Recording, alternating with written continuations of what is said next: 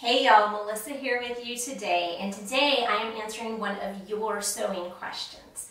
I've gotten this question several times, and it is how do you figure out yardage if the pattern doesn't tell you how many yards to buy? So, I'm going to show you today how easy it is to figure out yardage on your own. In order to do this, what you're going to need is the pattern that you're trying to buy yardage for. You're going to need a measuring tape and you're going to need a big surface. Now I'm sitting on the floor, but you can do this on a tabletop. You could do this on an island in your kitchen. You just need a surface that is cleared of other things so that you can measure. So fabric comes in two main widths. This bolt here is quilting cotton, and quilting cotton in general comes in a 44 inch width.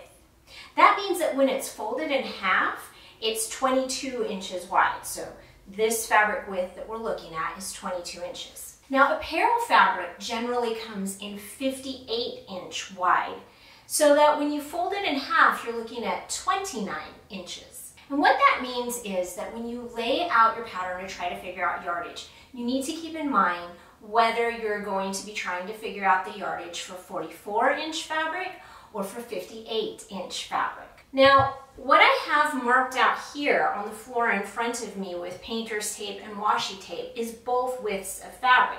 So you can see from where I'm sitting to the red washi tape, that is 22 inch width or the same as quilting cotton. What I have marked out to the blue painter's tape, that is the width of apparel fabric. So it's the 58 inch width and it's 29 inches from this line to this line because generally you cut patterns out double. Now, if you had a pattern where you knew you were going to have to unfold it, cut it out single fold, you would obviously need to mark out a larger space than what I've got marked out here. And then I've got this pattern here that is something I'm working on. This is the self-drafted top that I am wearing. And in order to figure out how much yardage I'm gonna need for this, I've got my pattern pieces here.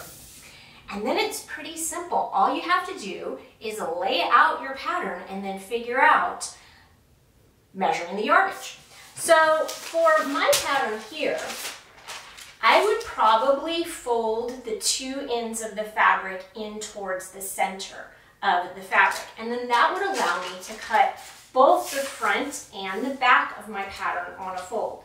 And as this is a t-shirt pattern, I would be sewing it out of a knit and it would be 29 inches wide when it was doubled. Even if I've moved the fold from one edge and I've like put folds on two edges, it's still gonna be 29 inches.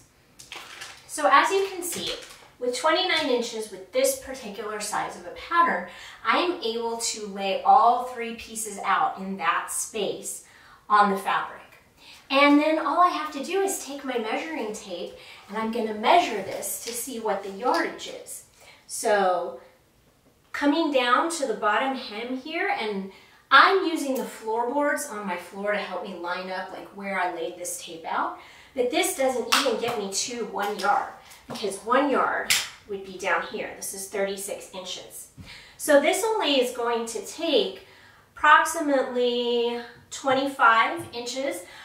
You always want to give yourself about 10% extra in case the fabric shrinks when you pre-wash it.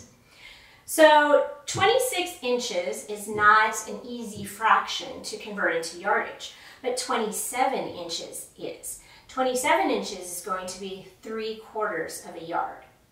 And on this graphic I've got here, I'm showing you some of the yardage conversions to fractions so that you know how many inches would convert down to those fractions. And in the post I've linked below, I've also got that chart so that it can be saved and it can help you figure that out. But really, that's all there is to it, is that you have to lay your pattern out and then measure. If I happened to find knit fabric that was only 44 inches wide instead of the usual 58 inches wide, I could lay this out again and calculate my measurements again. So let's pretend that I'm still doing two folds towards the center and you can see that my front and back pieces still fit side by side, but my sleeve piece no longer fits in the middle. so I would have to move it down here And now, instead of being able to buy 27 inches, I'm gonna have to come down and buy something more like 30 inches to accommodate all of this. So in that case, I would probably just go ahead and buy a yard.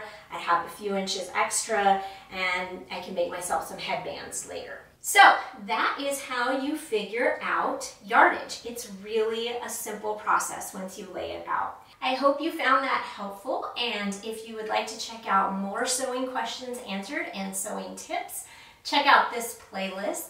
There is a lot more useful information there.